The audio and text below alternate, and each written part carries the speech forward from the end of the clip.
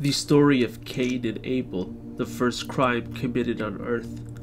Our mother Eve fell pregnant 20 times, and each time gave birth to twins, a brother and a sister.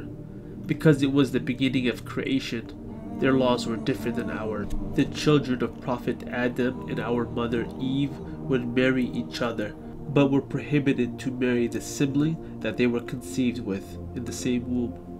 As Prophet Adam and our mother Eve's children grew older, one of the oldest was Cain, Qabil in Arabic, and one of the younger ones was Abel, Habil in Arabic. The older brother Cain was not very good looking, and his younger brother Abel was good looking.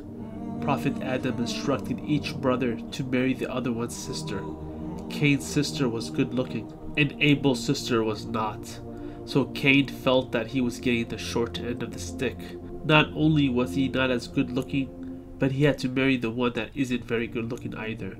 So he refused to marry Abel's sister and wanted to marry his own sister, conceived within the same womb. He went to his father, Prophet Adam, peace be upon him, to complain. Prophet Adam got upset and made dua to Allah. Allah answered his dua by instructing both of the brothers to sacrifice something for Allah in charity by placing it on a particular mountain, and whoever Allah allows to marry that sister, Allah would accept their sacrifice by sending fire down to consume it. Since this was the beginning of creation, there were no poor people at the time to give charity, so this was how they would give charity and sacrifice something for Allah. Abel, the younger brother, was a shepherd and brought a good healthy animal to sacrifice and placed it on the mountain. The older brother, Cain, left rotten produce to be sacrificed on the mountain.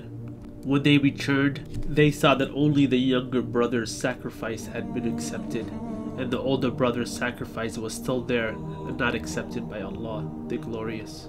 Instead of Cain thinking and pondering why his sacrifice was not accepted by Allah, he got upset and told his younger brother that he was going to kill him.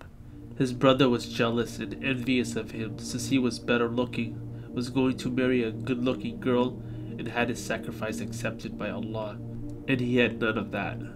His younger brother Abel responded to him, saying that Allah only accepts from those who are pious, cautious, and fear Allah. He said, If you attack me, I will not attack you back. The shaitan, the devil, taught Cain how to kill, and he struck his brother and killed him. Then he paused and looked at his brother and realized that shaitan, devil had deceived him and felt regretful. He later returned to his brother's body and saw a crow digging to bury another dead crow. So he did the same to his brother. Then he grabbed his sister and went to a land far away from his father, Prophet Adam, peace be upon him. They ended up having children, and corruption started to spread from their descendants. Prophet Adam, peace be upon him, was very distraught and upset that his son was killed, as he loved him very much, because he was a soft hearted, righteous son. So Allah replaced him with another righteous son, Sheeth, peace be upon him.